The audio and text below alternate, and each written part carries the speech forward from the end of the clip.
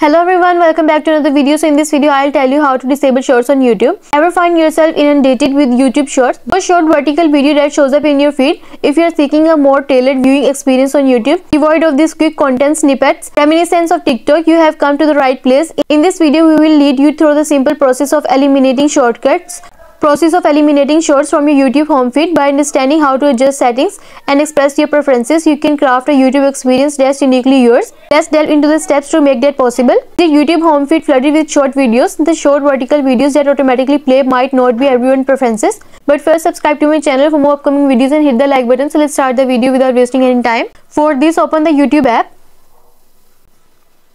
Make sure you're logged into the your account. Navigate to your home feed where you will find short resembling those you might know from TikTok or other similar platforms. Next, access the setting of short videos.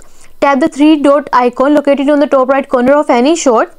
A menu will appear allowing you to modify your preferences. Choose the not interested option from the menu. This informs YouTube that you are not keen on watching shorts content. Confirm your choice by tapping not interested again if prompted and next repeat as necessary. Apply this process to other shorts videos on your home feed by marking them as not interested. You actively tailor your youtube experience letting the platform know that you prefer not to see short content. These simple steps can help you to customize your youtube feed and eliminate distractions.